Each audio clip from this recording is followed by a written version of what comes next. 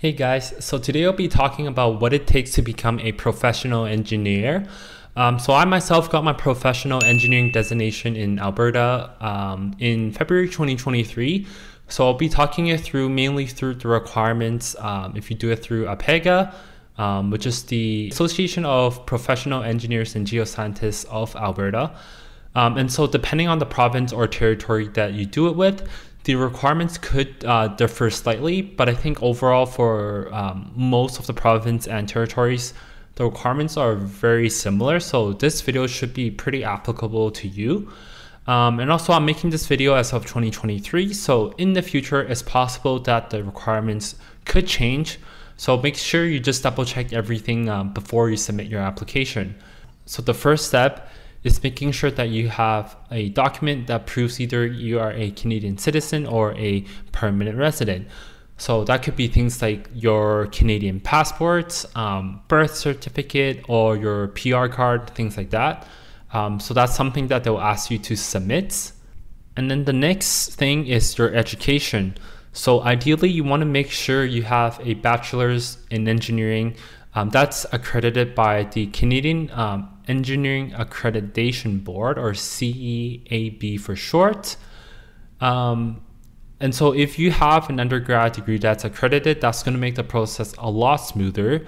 But if you don't, for example, I know a lot of you guys, my viewers, um, are from out of the country. Maybe you did your bachelor's somewhere else, um, or maybe you don't have a bachelor's degree in engineering.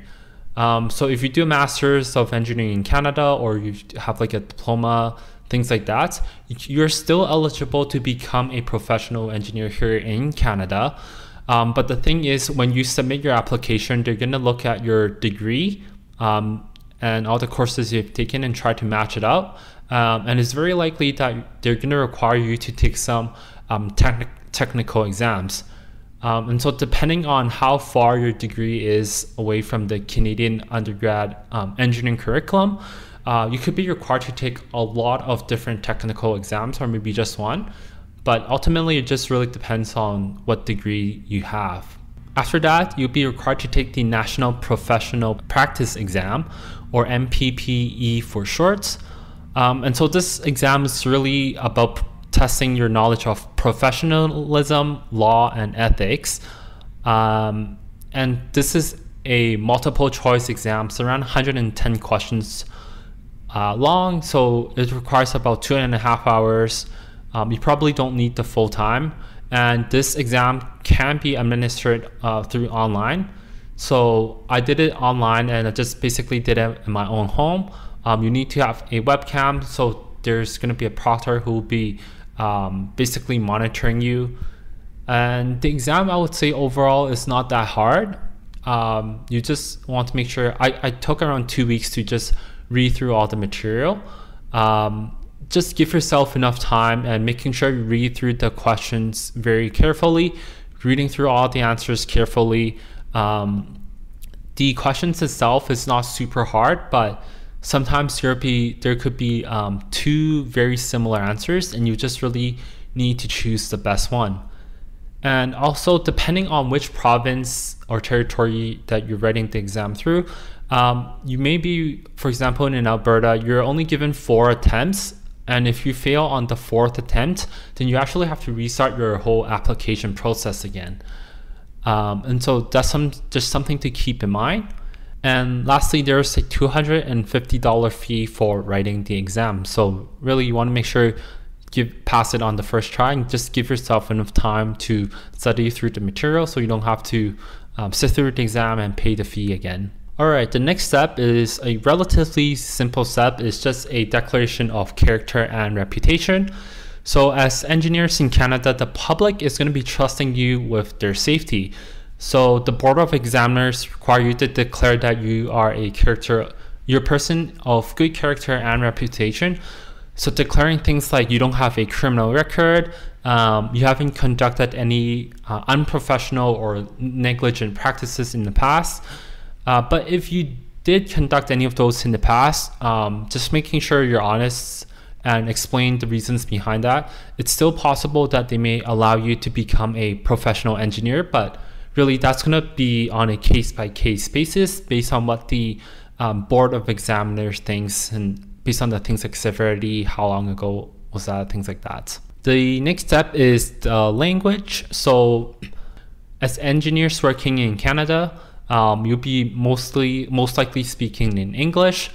And so if you have an undergraduate degree that was taught in English, then basically you can skip this part. But if you don't, um, then you want to make sure that you take the TOEFL exam and score 100 or more on it.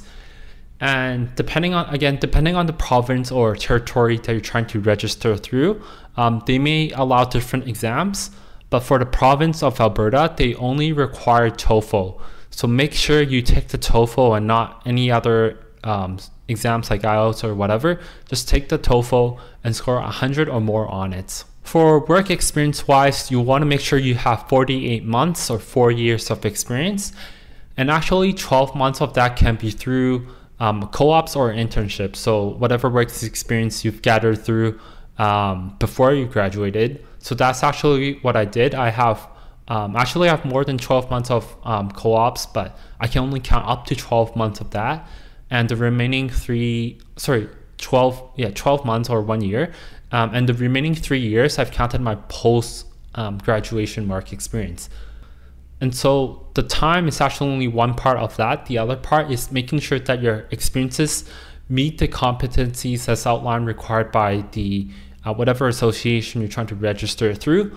So for APEGA, that's 22 different competencies. Um, and you have to do a write up for each of those competencies and basically explain how your experience um, give an example of how your experience meet those requirements. Um, so I can make it a separate video for that because that could be a very long topic.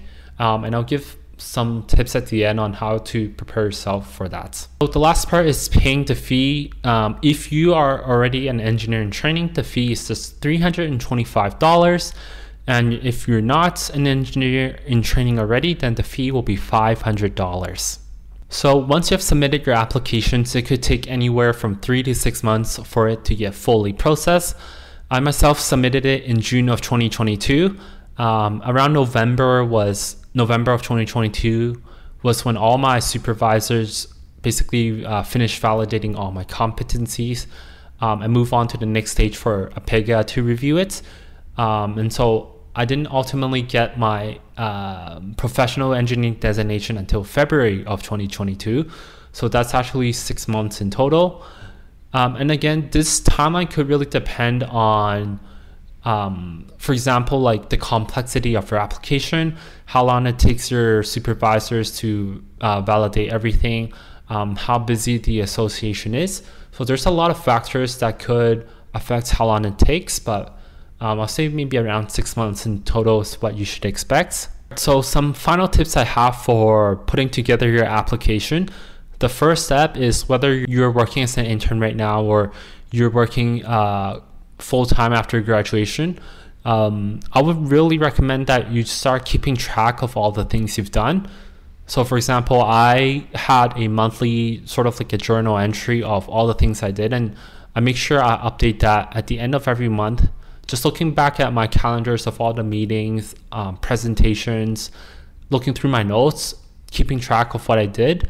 Um, and that was really helpful when it came to write about my competencies because I had already a list of everything that I've done. And it was really easy to just pick um, one example, um, elaborate a little bit more on it, and then um, just based and that basically explain how I met the competency. And if you don't have a record of what you've done, it's going to be really difficult um, when it comes time to write about your competencies to, to just look back and say like for the past four or five years and just try to think about like what you've done actually what you have done and what experiences actually allows you to meet those competencies. So that could be very hard if you don't have a record of what you've done already. Um, the second tip i would give is to make sure you're keeping in contact with your um, supervisors. So making sure you have their phone numbers, emails, um, LinkedIn, and whatnot. So they will get an email once you submit your application that they'll be required to verify your competencies. But sometimes they may forget, they get really busy, things like that. So um, I personally had to like give my supervisors um, a few reminders. And it's possible that they may forget. And things like if you, for example, leave the company or maybe they leave the company, then maybe that will be make it a little bit harder for you to get in contact with them. So making sure you have your phone numbers, emails, um, contact information, just making sure you're able to get in touch with them because that will be really helpful in uh, speeding up your application process. So that's it for this video. I hope you guys learned a lot. Um, let me know which video for, uh, you want me to make next, whether it's about the professional practice exam or how to write about your competencies and what they are.